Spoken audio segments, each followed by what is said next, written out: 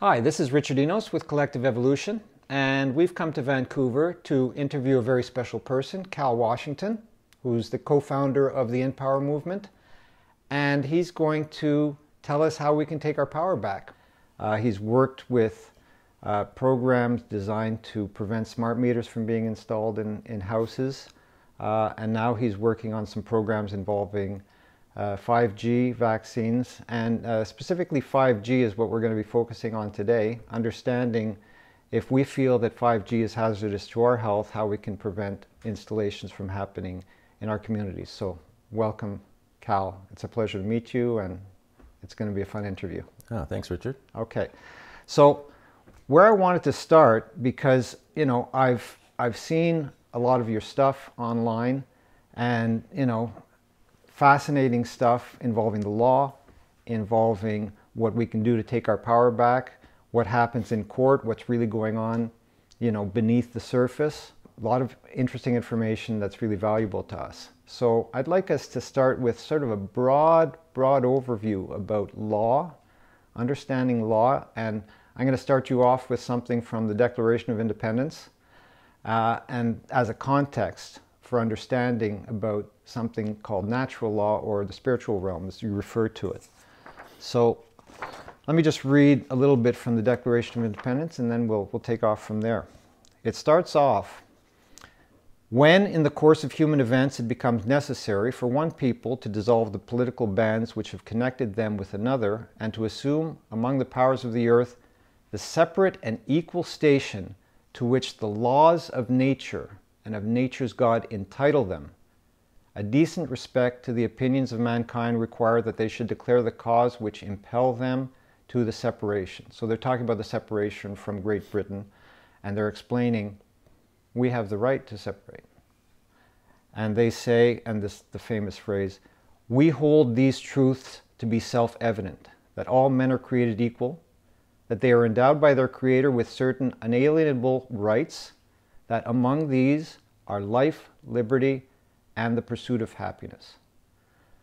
So they're stating, they're coming from a place where they feel we have natural rights as human beings.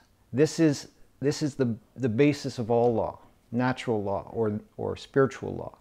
So maybe we can start with that and your understanding of that and your understanding of you know whether this is indeed our, our natural rights and, and, and these are things that we can we can reach for and we can fight for and we can actually achieve. Well, I agree, and and you know some key words in there is it's self-evident and um, and and also what they say you know rights including and they just among those so there are there are more that insinuates there there's more to this than, but at least that and um, and the fact that they declared it. So they they um, they worked within the system that they were under and did things in a proper way. So they it wasn't um, it wasn't done in it ended up being violent, but it wasn't. It started in violence. It, it was like this is what. It wasn't based on the, the might that the power that they were using was based on something true and you know universal to all human beings. And it was done in a in a peaceful way. It was done on paper and um, de and declared. Uh, um, had you know who they were sending it to just went okay, we agree.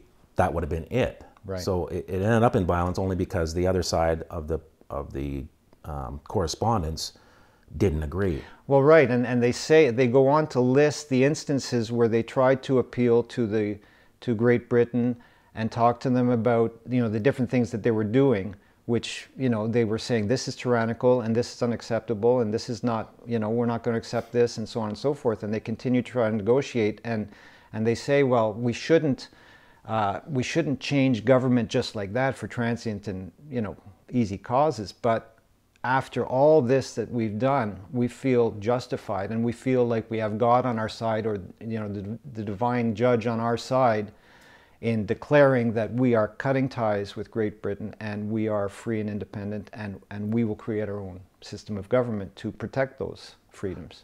Well, exactly. So it's um, it was a declaration and it was done in a in a proper way, and they went through the proper you know steps of trying to rectify the situation. And um, even at this, which is a which is a fairly drastic move, it still was not um, violent in any way. It was just this is what we are now going to do, and here's the reasons why, and they're sound reasons, and um, you know how do you feel about that? They didn't put that in there, but it, but it, but that's the intent of it.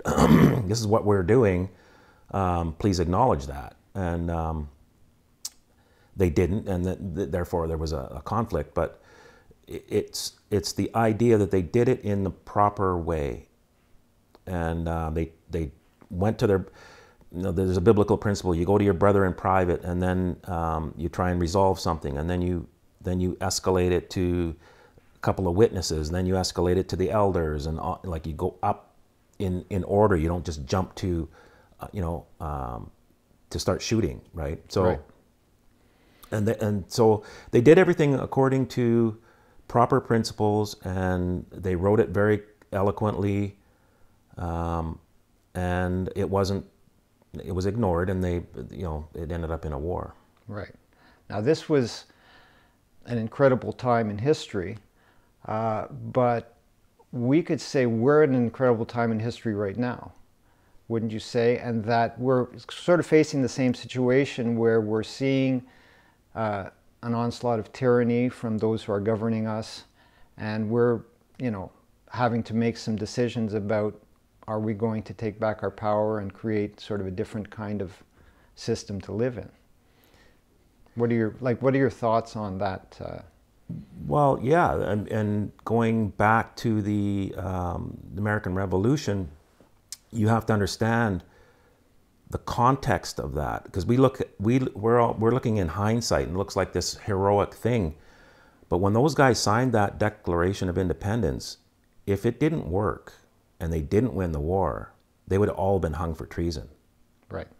So they there was a there was a commitment to this. This is like do or die. There was no, there's no middle ground. There's no, um, by putting your name on those documents, you were, um, you were committed 100% to the, like, if it doesn't work, I'm going to be hung.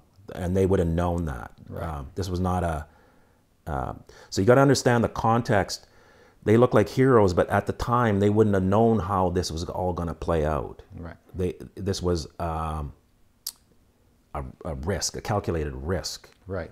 And and we're at that same point where if we don't actually get involved and commit to uh, a serious change, there's going to be some dire uh, results of that. Apparently, so that's we're at that kind of crossroads again worldwide, not just at one country.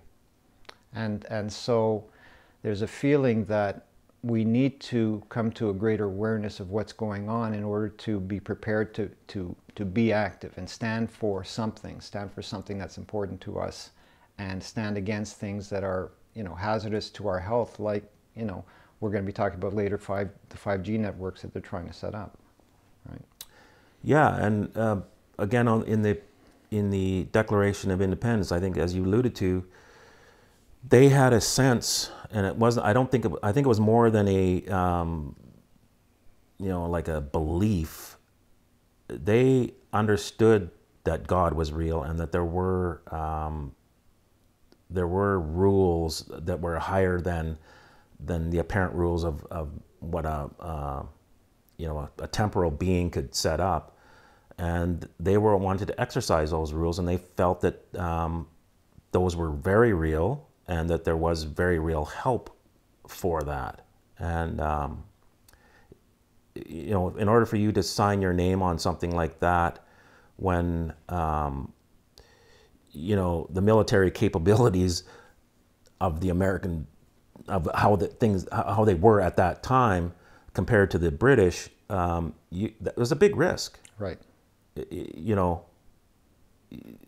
they had to have really believed in something more than a belief. They had to know that the, um, this was possible and actually needed to be ha- happen. So they they were willing to sign on that. and they they felt like they were in the moral high ground, right? They were in the position of truth, and they were aligned with, you know, the spiritual uh, forces of justice, Yes. right? And that's that's what they said. It's self-evident, and um, they wanted to exercise that and to, and take back their authority at that time. Okay, great. So we find ourselves where we are now under all sorts of different laws, and you know, a lot of which we don't agree with, and they're they're just coming at us, taxation, and you know, different technologies being introduced, different stuff just being introduced into our society. I'm wondering if you can give us a bit of an overview of when you step down from this natural law that we talked about and try to explain what kind of laws are we actually living under and how did they come to be. Uh, you know, the laws of, of the, the kind like Canada, the United States, Europe. I know it's a big question. Yeah, you. It's it's over a long period of time, and and you know the more they're digging up, they're they're finding out some of these things go back further than what we've been told, but um, by and large, what I found, uh, because I had a, you know, as I was growing up, I had this idea of how things were, and that was obviously placed there however. And um, so I had an idea, and most people have this idea of, of how it works. But what I found was when I got in there, it was different in there, you mean in, into the courts? into the court system. So Yeah. I was dragged into the court system, and I found out that it wasn't as I thought it was. And it was just that um, that kind of drove me uh, because I wanted to find out what it was. Well, what, what did you think it was, first of all? Like, what, what were your thoughts? Well, I thought, you know, from the TV or whatever, I don't know how I got it, but anyway, I thought the courts were about a, um, a balanced system and finding the truth and, and then um, finding the justice in that for, for all and, and coming to a, a agreement, or, you know, or a, an understanding, or le- even if it was just a ruling, that it would have been fair for Fair. all, for all concerned. Great. Yeah. And I think that's a common perception, and, and that's the perception that's been put on us to- Yes. to, have, to think that, okay, everything's all right with the world, the government's, you know, controlled by the courts, and the courts are just and, and, And independent and yeah. independent. Yeah. Okay. So that's that was my understanding going in there. And you know, the the few times that I had you know watched something or been in there, it, it seemed like that. It, it didn't. Um, it I didn't notice that it wasn't that before until I was.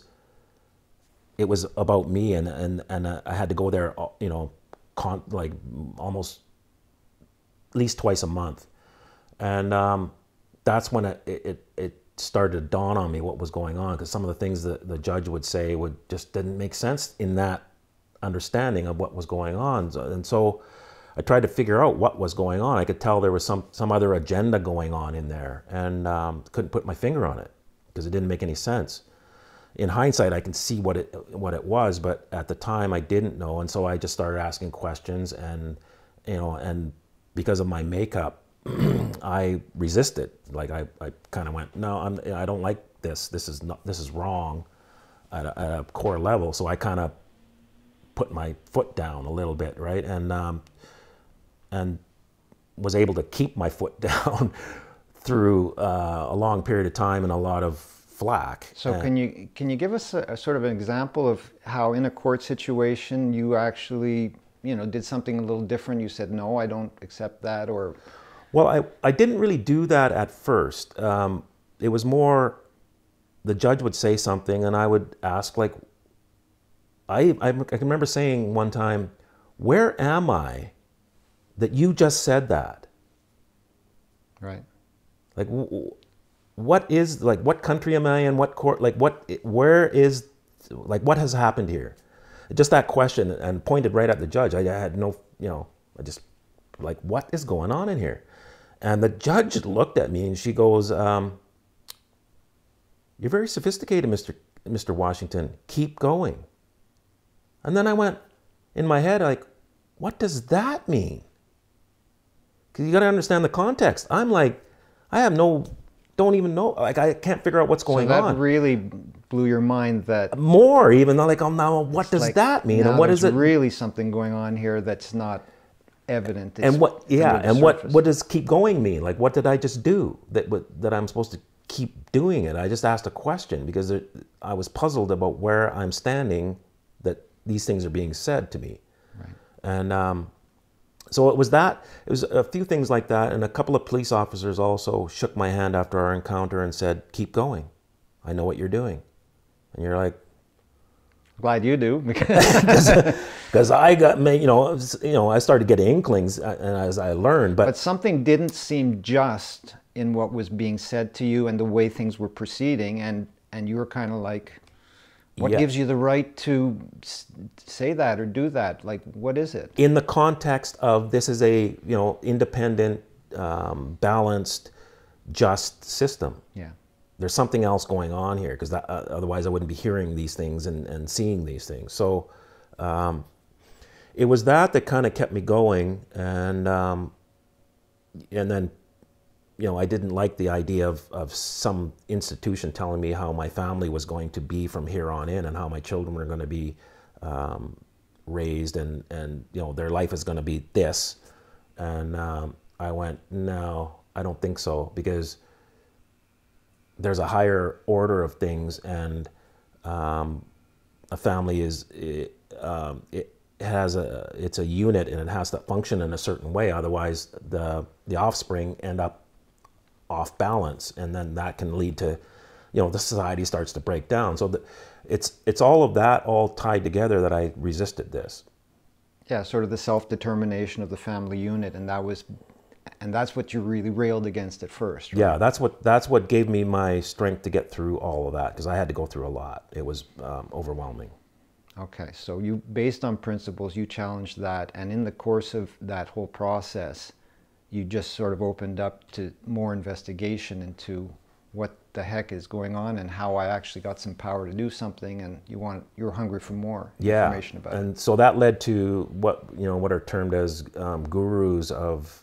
sovereignty and you know however you describe that it doesn't really matter. But you know what i'm talking about the, the people that have methods of dealing with court or um, you know ideas about how things are and everything. So i went uh, learned a bunch of, of those and tried everything i was willing to try anything that's that's another thing i had no um, I wouldn't say I didn't have fear because I did have fear in the beginning, but I, I was still willing to um, try anything. And certain things ended up with certain results that, that weren't in my favor. And um, so you would stop doing that and move to the next thing. And um, that's, that was the journey. It was mostly trial and error. Okay, and so let's let's step back and and sort of paint a picture of law and the law that we're under, and you know, out of what you've learned, I know you've talked about um, the idea that we're actually living under a system called law merchant, right? Lex mercatoria. That is the, uh, that is one of the things that we're living under. Okay. Yeah, so it's layered, and and that's on purpose so that you don't see number one that there are layers, and number two that there you know um, how to operate in higher layers. So the bottom layers are meant to keep you um, sort of hypnotized and um, boxed in, so you don't see anything else except that, and um, and you know people that are end up in the uh, just us system go to what's called law school. And you know this is not you know with all due respect um, to anybody that's done that you go to a law school that is controlled by others. So what you learn there is told you're told to learn this this this this regurgitate that on a test and now you are a lawyer just that if you just thought about that for a second um, if they omitted anything you wouldn't know Right. so therefore the the system um, proliferates and and and is self um, organizing and, and keeps keeps the system um, alive because there's less knowledge that's put out from the beginning so those that are um, in that system only understand uh, what they've been told. And so it was that. Um, I understand. Once I learned that there was another, uh, like a higher jurisdiction, and I started operating again, just trial and error. That's when my life started to change. There was still a, a period of time where they fought back, but there was a definite mark in time when they started running from me instead of me from them Okay. and that that's the key um, and that's what is uh, you know as as I kept going down that road you know it just solidified and solidified and solidified that this is actually true and uh, I can't be moved from it anymore. You know no matter how many letters I get saying there's no basis in law for what you're doing I just ignore them because it, I, I'm past that. Ultimately, when if if you ever get into that point where you have to, you know, go to court, you you know that you've you've got the right on your side, and and and the court will have to respect that because that's it's it's past that point it's even past that. they won't I will I will never appear in a court Interesting. I, like I, you know, some of the, the thing I say is I would have to be um, dragging a dead baby and firing an automatic weapon into the air before I would be dragged into a court. Okay. And and you're you're a person that that the system doesn't want in court, and they know No. you're going to cause all sorts of trouble. And Yes, okay, irreparable damage. So it, it, they've already tried that, and I went through the whole thing, you know, including time in jail, and um, that's the best they've got, other than you know, extreme violence. okay. So um, there's nothing. They don't have anything else. Okay, so if, if you talked about going into a higher jurisdiction, right? Learning that you can operate from a higher jurisdiction. So can you, is it possible to explain like the jurisdiction that you're at, what you've realized is, is the law that's operating at that level? Well, there's an ancient um, commercial system, and it's it's called um, in modern times, well, even in old times, it's called law merchant. Lex mercatoria is the um, Latin name. It turns out, as more archaeological digs come up, that this this went back further than than even we thought. And um, but it's a it's a um, it's a jurisdiction that is more like customs and um, principles of operation in order for merchants to um, uh, conduct themselves internationally. As, as things started to change and people got into boats and, and started moving large cargo, you know, around the known world at the time, and having international what would be called international fairs where they would sell wares etc you had a lot of transient people from all over the place from different languages different money systems different laws different ways of doing things Right, and of course that if left alone would just be mayhem. Right. so this system of doing things um, evolved and it was dynamic. It, it wasn't fixed like regular laws were. It was more worked with the times and, and was based on principles of fairness. And um, all the merchants agreed to this because it actually worked. And it was fast litigation as well. If there was a problem it was done within a day not within you know eight months to a year in the normal common law way. So you didn't have to have burdens of proof that you had to have in the common law uh, system. It was more based on truth in an affidavit form or swearing to it, and um, and then a group of other merchants would would decide what was true, and they they were trying to get to the bottom of it quickly. Yeah, And the reason for this was because uh, ships would leave at high tide, and if there was a problem, that ship was going that day. Like within four or five hours, when that high tide comes in, that ship is gone, and and there's no there's no way of stopping. there's no remedy because that guy is gone. He may never ever come back. yeah, And um, or the ship has cargo that you know you claim is yours or whatever. You, you what- can't stop. You can't stop all these ships just No. because you're you're arguing about something. No, because a, a lot of the stuff was perishable as well. So you couldn't argue for eight months about uh, a load of bananas because at the end of it, once you find out who owns the bananas, well, the bananas don't exist anymore. So that the, the, the law system didn't, as it was, didn't work for merchants. It wasn't um, dynamic enough. And so this thing called law merchant came up, and you can read um, you can read on the internet, and there's uh, just so you know there is a uh, vested uh, agenda to call it a myth that it didn't exist. Uh-huh.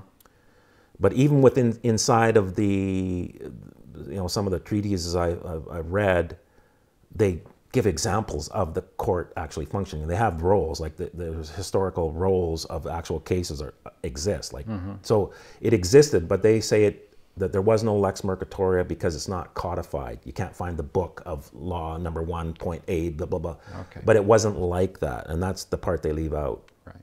So it was functioning very well. Once everybody came to an agreement about it, everybody was satisfied that in, in that domain, it, it's, it's really a good system. It was a very good system and it's and it started to compete with the common law system with the king's courts um, people liked this better because it was i mean corruption who knows how that was because historical books always leave that stuff out but um, either one of those things could have had some corruption in it but but it was more the quickness of, Yeah. of everything so in today's world it's called summary judgment Okay. so things are done um, not based on proving something. On it's based on probabilities, and the judge will tell you that. Okay. But- Probabilities. But see, my way of thinking, I'm going. You're operating in lex mercatoria. I know what you're doing. So they try and disguise it, and but it's actually lex mercatoria. Okay, so so you're saying that Lex Mercatoria started to kind of get into the domestic legal systems of countries because they liked the way it was operating for the merchants and the international sort of shipping and, and all Yeah. that. So so it was it the people uh, that that wanted this introduced into certain areas of their their domestic lives in countries? Well, partly. So you had um, what were called pie powder courts that were at the fairs, and they were um, very transient. And then they started to, to get more um, solidified, and, that, and they were called staple courts. And there were staple towns, which were mostly the port towns. So there was an actual building, and it got a little more, um, you know, present, not so you know disappearing with the with the uh, fair. So there was a building, and that you know it started to become a little more uh, solidified. Yeah. And um, and the king was okay with this, but then it started to, you know, it it started to take over, and he wasn't getting his cut and all. You know, there, there's a million reasons why, but so what Lord Mansfield did, who was the chief justice, what we would call chief justice at the time, they fused it into the common into the common law. So now the merchants could actually go into the common law court, but still operate in lex mercatoria. Okay. So the judges were told to take judicial notice of the lex mercatoria or law merchant when that when a commercial case came in. It was meant to go faster in the same way and and and with the same kind of principles. And um, over time, they just stopped talking about it. But it's still going on, and that's once you understand that and you go and sit in court for a while, um, you'll see that that's what's going on in there. And it just dawns on you. It, it- the light bulb goes off. Oh, I see what they're doing.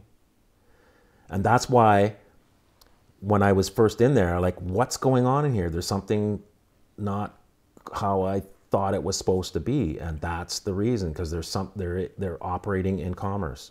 Okay, so can can you take us from from those origins to you know this idea people talk about that Canada is really a corporation and they use capital letters and birth certificate and, and like like where we where we are now, how did this become uh, you know we're talking about Canada, United States, let's say. Can you explain to us how Lex Mercatoria is operating here? Well, Canada is a is a special uh, example because it started off as a corporation. And that was the Hudson Bay Company. And that and you got and people don't understand this. It was the government. And it was for 200 years. It wasn't like you know, fly by night. It was entrenched here. Mm-hmm. It had 200 years to, to really clamp down, and um, and it did. Uh, the problem with it, so so you understand that it started off as a corporation. Started off as a corporation, the Hudson Bay Company. Company. It is a for-profit cor- and read the charter. That will, it's self-explanatory. Number one, it was a, meant to be a monopoly, complete. Yeah. They were allowed to use navy, armed forces, armaments, cannons to enforce all this. They were allowed to take people's stuff if they were if they disobeyed it. Like if you got caught um, dealing with the with the natives uh, directly, you everything was confiscated. Your canoe, your horses, your like all that stuff was happening. So these are all all the people that came from Europe and were the settlers in, in Canada, right? So yeah. this they were under the jurisdiction of this corporation. Yeah, and that actually went into where the United States is now, because this is all predates the United States. So right. um, you can see the map, the original map, and of course they you know, kept expanding it um, illegally. Um, so, and then that whole thing, um, if you read the charter, they were allowed to make their own laws and enforce them and they were allowed to have courts. So just, you know, the bells should be going off. That's that was in the charter, courts. So a guy was sitting up there like acting like a judge. Yeah. But it was a Hudson Bay court. Right. How do you think that's going to go? When you're charged of whatever it is, putting your canoe in the water without paying your your your 10 shillings. Yeah you lose every time in there. Yeah, or you go and try to, to say Hudson's Bay is being unfair to me because you know they're taking away this, and, and you're going and talking to an employee of Hudson's, of Hudson Bay, Bay, sitting in the judges. And the same thing is today. It has not changed. And once you read that uh, that document, you'll you'll and if you put it in today's context, you'll see that it's identical. It has not changed. It changed for 26 years when they uh, passed the British North America Act. Right but if you go into the his, history of that, that was only to force the surrender of the Hudson Bay Charter. That was the sole reason for it, because that it because that's what happened within a year of the, the Dominion being created.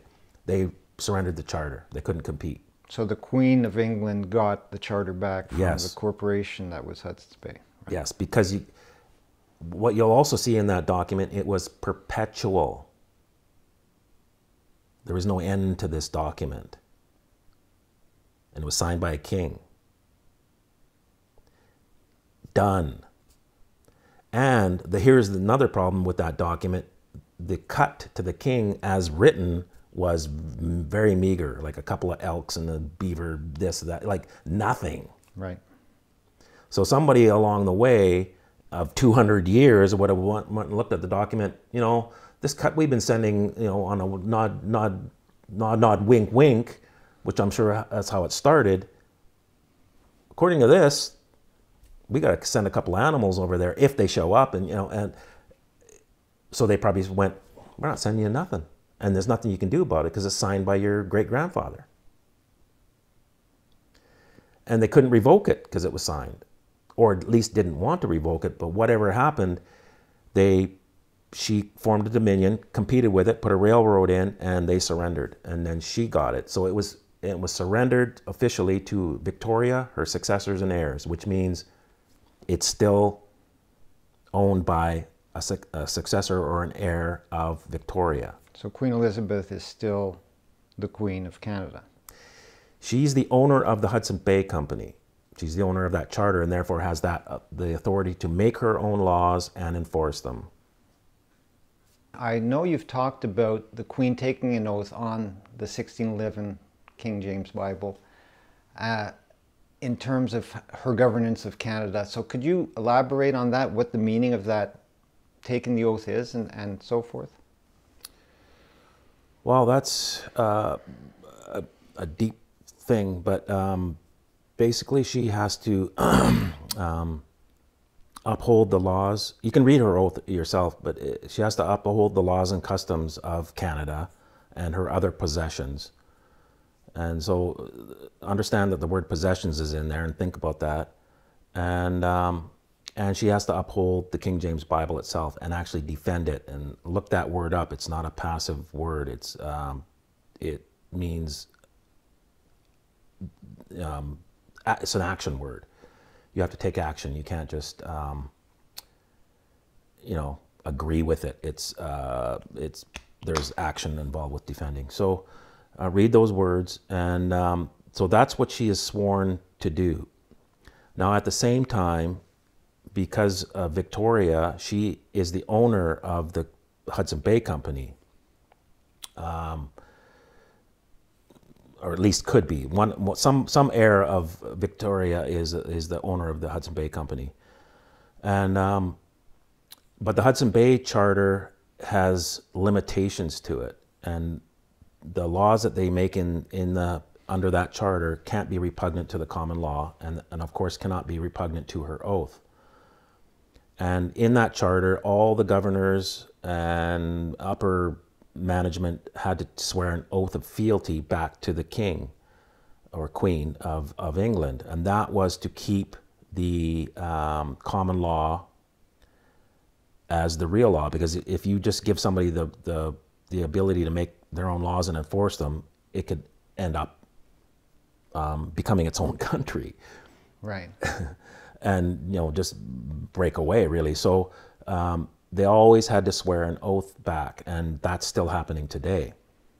So anybody that gets into government or police or any, um, even uh, I knew a, a, lady who worked at the liquor store. She had to swear an oath to Queen Elizabeth. So all of these things are um, still in effect. So you have to swear an oath back to what you know what would be deemed a foreign uh, monarch if we were a real country, but we're not. So we're still under that charter. All the things that are that are written in there are still happening. But ultimately, all these officials, it, it comes down to they're subject to the the code in the Bible and sort of acting in accord with that, right? Yes. So there's that's the layers that you got to kind of see. You have to sort of put one connect the dots, and that why is why are they swearing an oath to, to the Queen Elizabeth? It's partly because of the charter, and then what does what does Queen Elizabeth, Elizabeth's oath say? Because they are subject to that, because they have a full on uh, allegiance to her. So no matter what her thing is, that they have to be in allegiance with that. So then you go a step further. Well, okay, now it's the Bible well, if it's the Bible, I better read what's in the Bible. You see, so you got to follow the the hidden layers of this, and therefore, what's written in the Bible, the politicians in Canada have to obey. Period. And so, therefore, the way we take back our power in the larger sense is to say, hey, here's the Bible. It says do things this way, you're doing things that way, and you promise to uphold this. And so, I'm going to make you liable for my problems. Yes. Is that the way it's That's how I did an overview. It. That's an overview. So what ends up happening, and if you don't, now you're putting Queen Elizabeth's oath into jeopardy, and I use those words. Do you want to continue? Because that's where I'm going next. You see, and I go in order. Right. Because that's the you principle. you step up to. Yeah. So right. if you don't do this, then I'm I am forced to now implicate the Queen.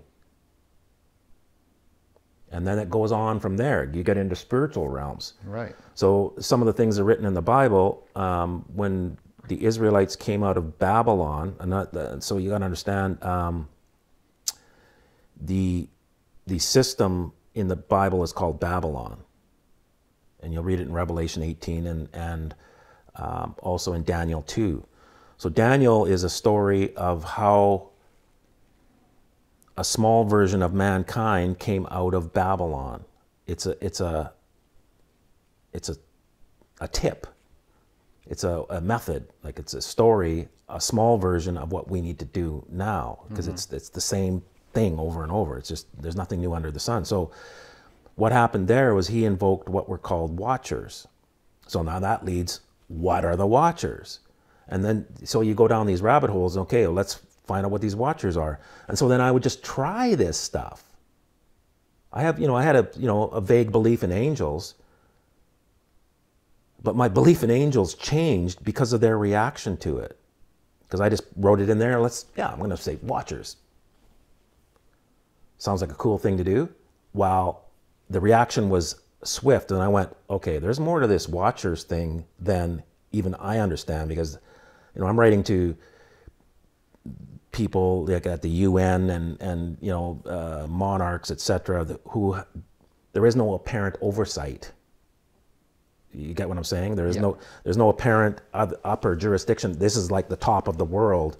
And I, when I write them and I start talking about archangels, the the reaction was very swift. Where within a couple of days, a police officer is uh, phoning me and telling me not to show up in court.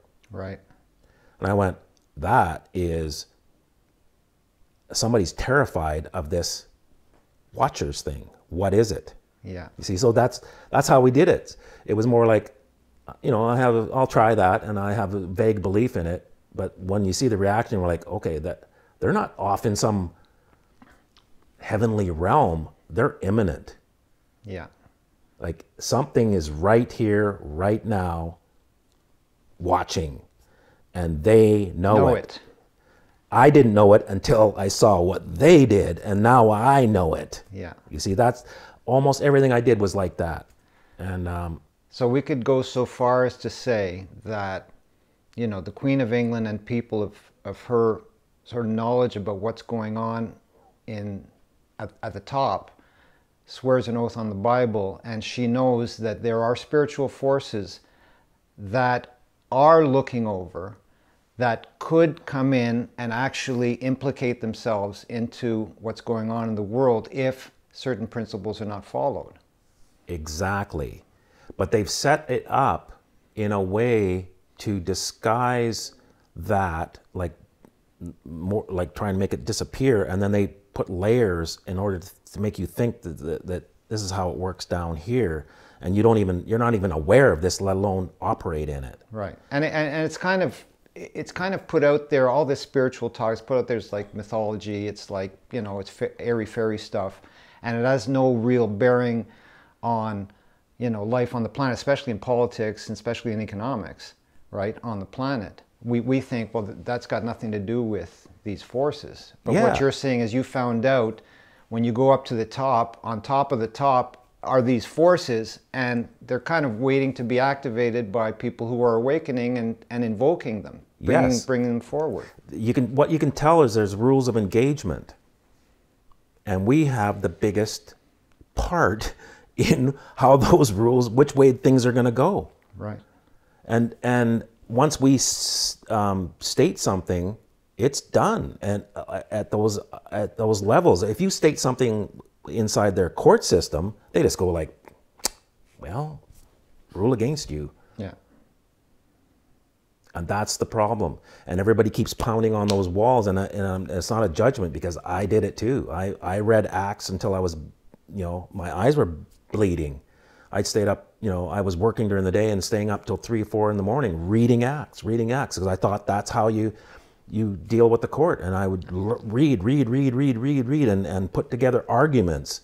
And I would go in there with the, you know, beautiful arguments. You could see them. They're like, whoa, rule against you. And I'm like, well, what's going on in here?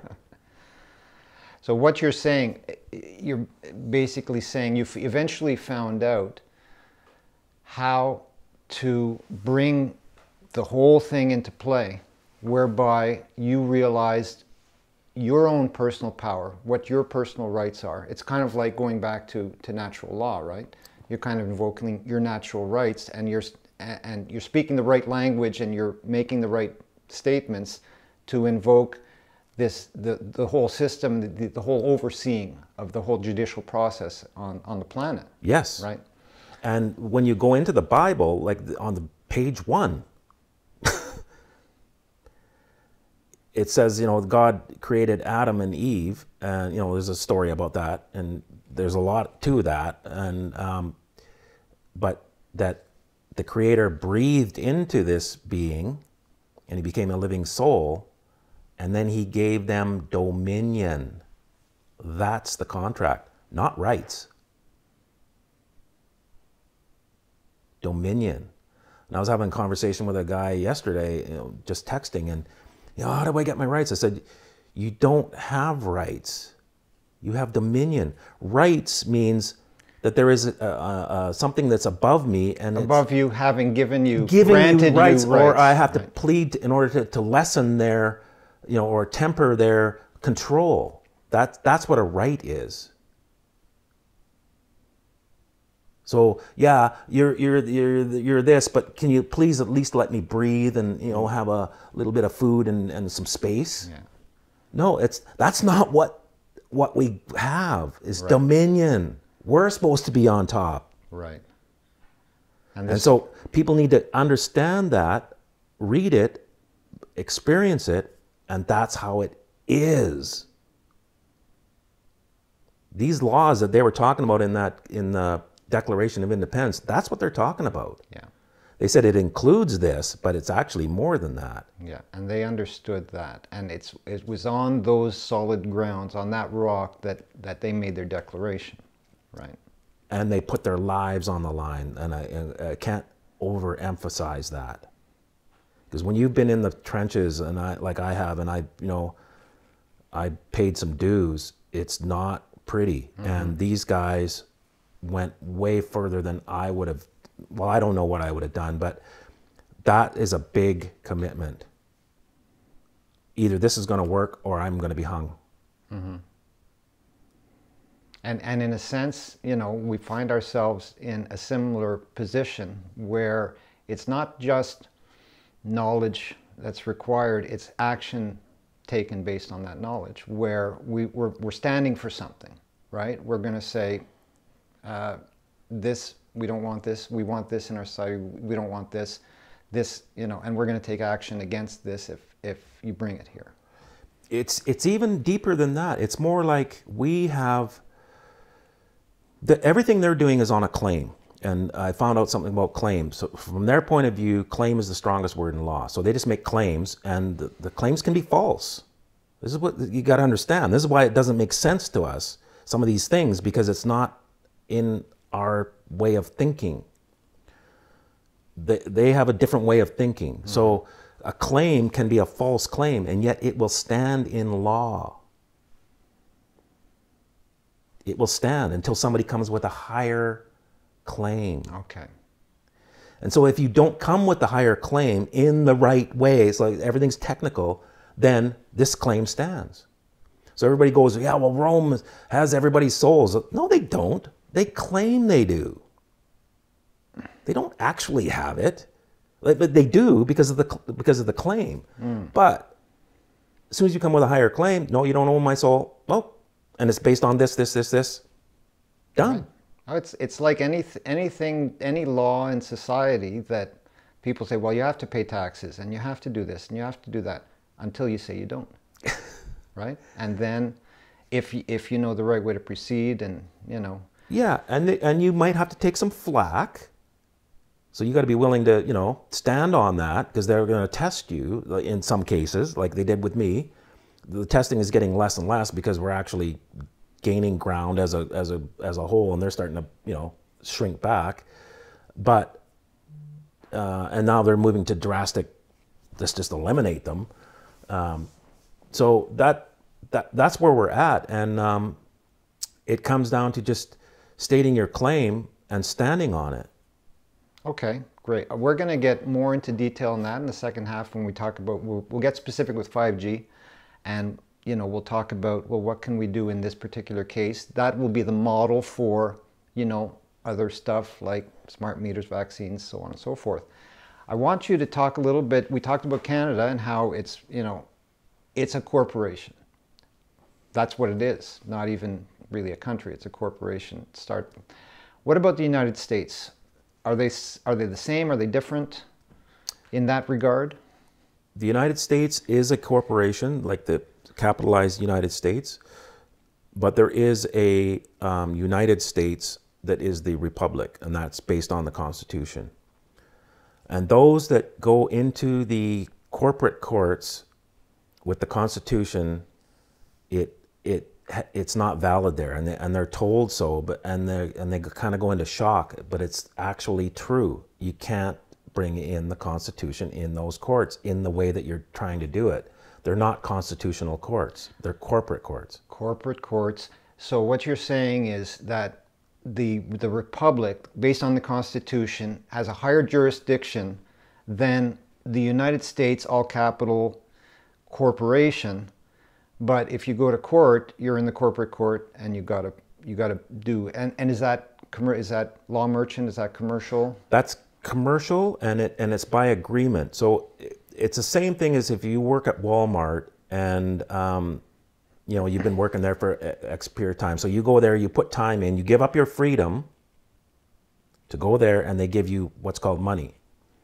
If you decide one day, well, because I have I can have the pursuit of happiness, I would be happier on the beach because this Constitution says so. So uh, you phone your your boss and say, "Well, I'm not coming today because I'm I'm pursuing happiness on the beach today." That wouldn't fly. The Constitution is irrelevant in, at Walmart in that sense. So you got to understand that that's what's going on. You've agreed to this corporation called the United States, and and yes, it is uh, deceptive. But um, if you vote, um, your SSN number, um, your birth certificate, all are part of that corporation. So they are assuming that you're okay with this until you um, say otherwise in a, in the proper way, mm-hmm. and it's not easy to do. They they really push against that. So so the republic is formed first, and then they bring in the corporation called the United States later in it, in U.S. history. Yeah, it came in later. Do you do you have any like a brief um, history of them? I don't have any dates on that offhand, but there are there are key things that happened um, that show this. So that uh, there are there are people who teach this in the United States. I'm more the Canadian um, right. history because that's I had to deal with that. Um, but it is definitely a corporation, and the courts are definitely um, corporate. There was one case in particular where they definitely moved away from the common law, and that was the Erie Railroad case, and that that changed things um, forever. You know, as far as them how they operate. But one thing I'll tell you about the the um, the birth certificate. That's how they've turned you into a merchant. And so going back to the common, the lex mercatoria is in the common law courts. Yeah. They they could only deal use that when the when merchants were there. So they had to make sure that everybody that came in there was a merchant. Gotcha. That's how they did it. So they created this thing called a straw man and uh, capitalized your name, turned you into a corporate, not you into a corporation, but they made a corporation that has a name like yours. Same thing they did with the countries. So the countries are not, they're actually corporations. We're told they're countries and, you know, they have a Olympics every four years and to solidify that. And they have songs and they have flags and banners and all this stuff to constantly put that in your head but countries don't really exist. And um, so that that capitalized name is is the corporation, and the number is your SSN number in the United States or your SIN number in Canada. That is your corporate number, and so the minute you try and get a driver's license, a bank account, credit card, mortgage, anything, first thing they ask for the number yeah. to make sure that you're a merchant and then so everything proceeds with the law merchant. You're a merchant. Uh, your dealings are on that level of jurisdiction, um, and we don't even realize it. No. And we wonder why we don't understand what happens in a court. You know? Exactly. So once once I started to see, because because I came through the hard way and I banged my head against this thing I had all those questions like why why why am, why am I losing even though I'm winning? And um, once I saw, I went to a, a, a seminar on this, um, epiphany after epiphany. I, I like oh that oh there it is there that's why that's why that's why that's why that's why and it just like uh, now I get it. I see what's going on because I had the context Yeah. I had all the experiences of all these anomalies. Like, why is that happening? And it's consistently happening. Like it's, um, so not, once I saw the that there was this other thing going on. Now, oh, well, now it's like obvious what's going on. So then I just started operating there. And again, still trial and error. But the first move that I made as a merchant, because now I'm, instead of fighting it, I went, okay, if I'm a merchant, here's my first move. Let me act it like a proper merchant, knowing In the proper rights, way, knowing uh, exactly how this works. First move, judge runs out of the room. I went, mm, okay. Now we're on to something. And like I said, there was still a period of time, maybe a year, where there was they were still trying to, you know, fight back. But after they held me for 60 days, at the end of that, that's the last time I was in court. So why don't we end this segment? I want to hear about this this time you spent in jail and and kind of describe that situation and and what came from that, how that moved you to the next step in your understanding of what's going on. Well, uh, like I said, I did um, I did some common law. I did a mixture of common law and law merchant. So I used the what's called prerogative writs, and you need to look those up too. That that's a key for any anywhere where the common law is, and and one of them in particular is called quo warranto, and it's a old common law writ, and what ends up happening is the queen becomes the nominal or the uh, king becomes the nominal plaintiff. So as the realm was going out they had lords that were you know kind of held small pockets of people and taxes came through them and then back to the king so it was a, it was a kind of a spread but they didn't have the internet and they didn't have planes and they didn't have cars so w- as the realm spread anybody could really get up and say, "Well, I'm a lord. The king made me the lord, and now I'm blah blah blah blah blah," and um, you know, cl- start collecting taxes, and nothing is going back to the king. Like, how would you know? Right.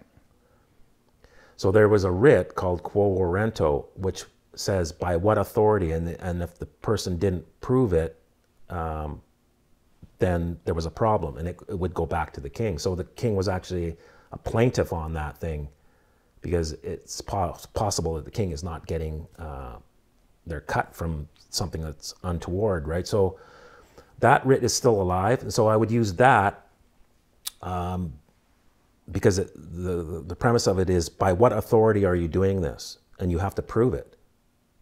It's a common law writ. You have to actually act on this, and you've sworn an oath back to to what's her name there, and therefore this is all still available to me, and I want to know where your authority comes from, specifically. And if you can't do it, then I'm going to assume you're operating in commerce, that this is a corporation, that I am correct.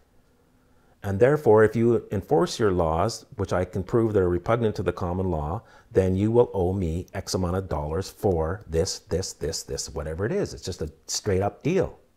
Okay. So so in particular to to that situation you were in in court where you got sent to jail, can you tell me like what what the fight was about and The, f- what ended up happening? the fight was about um, driving without insurance.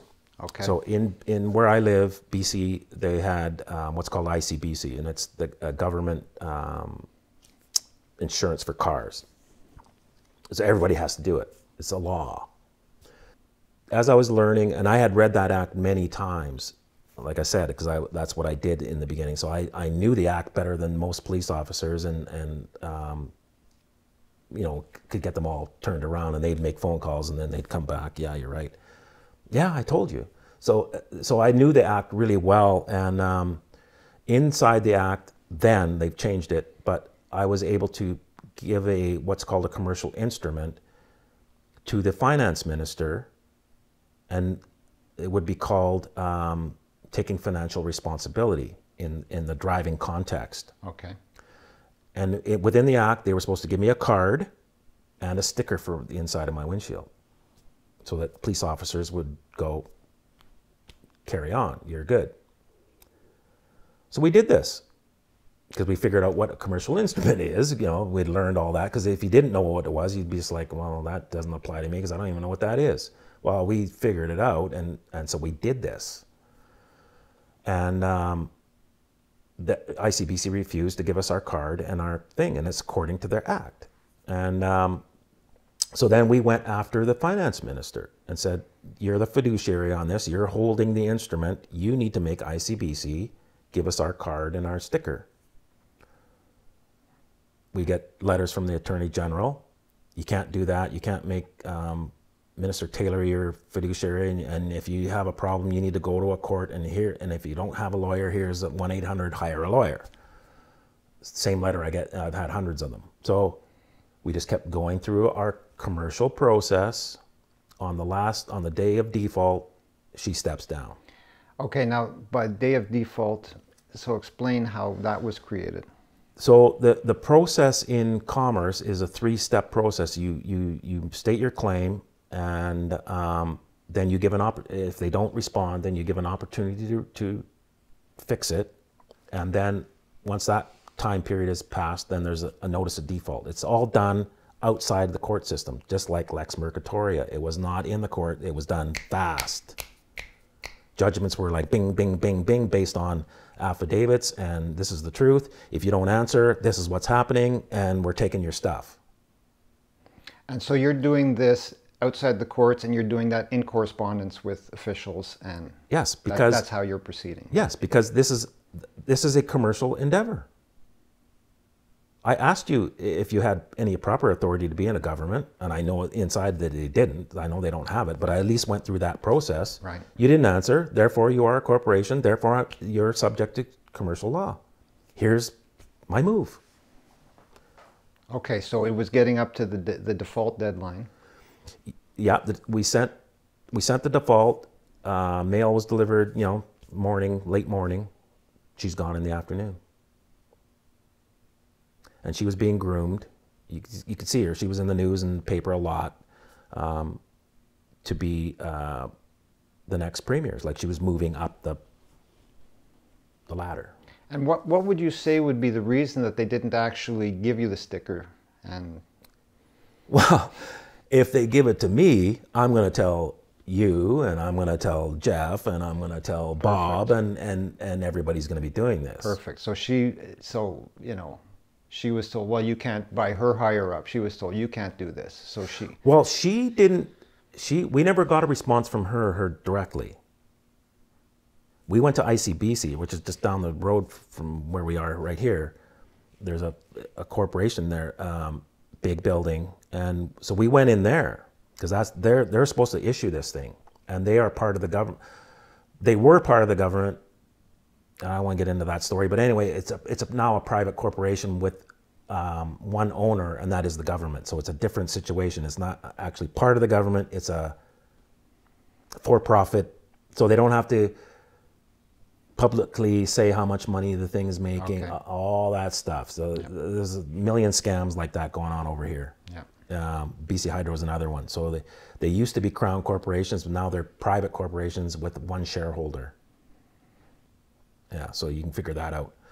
Uh, and they did a bunch of stuff. But anyway, so we went to ICBC. We got a, some kind of manager because um, we'd already written, and they, they said, well, come down for a meeting. So we go to this thing, and you know you have to sign in, and it's, it's pretty closed.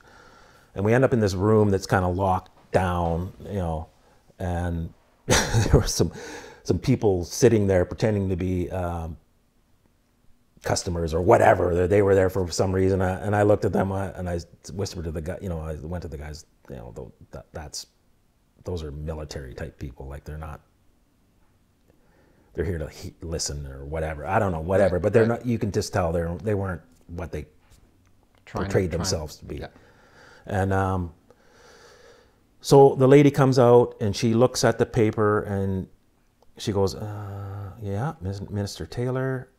And then she's and her face starts going red and she's just reading this and and you could and she's looking at us. We're staring at her the whole time. She's reading and then looking and and you could just see oh no they found it.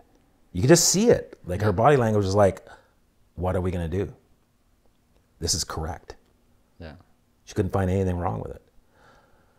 Um, we're going to have to uh, have a meeting and we'll get back to you Okay, that's what I thought. And so got a phone call the next day. Nope, not doing it. So we went after Minister Taylor. So that's how that came about. So Minister Taylor uh, was Carole Taylor. She never, we never heard from her at all. So the Attorney General, the Deputy Attorney General, um, wrote on her behalf because that's how it works. So he's like a lawyer. He's the um, he's a guy that doesn't get voted in. He's the actual one that sort of attorney generals come and go, but he's the actual entity behind all that. So we kept getting those letters from from him, and then when we we just ignored them and, and did our process, she stepped down and left politics with no notice. And we saw this type of behavior over and over again because everybody says that well that's a coincidence, and we thought so at first too. Yeah. Because you know, as like I said, we were going through just trying stuff, and was, was that a coincidence? Like same day? But after you know 14 of these, you go, no, this isn't the you know now. Well, and you know, if what you're doing is actually what you're doing, then these people are in big trouble and they better step down, right? Well, the, again, we're learning this as it's happening because of the reactions. So we're, we're going, okay, this is actually real. This is not some, you know, fantasy thing. We're, we're actually hitting something here because they're running. And it's always top people that ran, never bottom people. Right. People in the, you would think are in the know, they are the ones that tend to step down. Right. Yeah, other people are, you know, they don't have the responsibility. Ultimately, it'll go up to a certain point, and then the person who's aware of it is, is going to take the, the consequences, right? Is going to have to pay for. Yes, but it's it's more like a, um a knowledge base. Uh, people further down the pyramid have only limited knowledge, and so they they look at what um, this paperwork does as as it's nonsense, and we hear that a lot. Yeah. But when when you see the upper people running, you go, no, well, you can think it's nonsense all you want. They don't think so. Right. And, you, and you've seen that ongoing. You've seen that the higher up people who, you know, have been read into the, these things understand what exactly what you're exactly doing. what you're doing, and they know it's very real and more than I did at the time. And the, the reason why I know it's real is because because the reactions that I got over and over and over. So you go, okay, this is not, this is like more than real. Like it's, I don't have to even think about it anymore. And so I don't, I'm never deterred by letters. There's no basis in law for this. I see that like thousands of times. Mm-hmm. And every, everybody that does our process, they get those letters. And I just tell them, yep, It's another one of those claims, right? I could, I could build a house out of, the, of that, you know, of those papers. I got thousands of them. yeah. And yet, top people still run. Okay, I think this is a good time to take a break. So thanks for that, Cal. And when we come back in part two, we're going to be talking about 5G.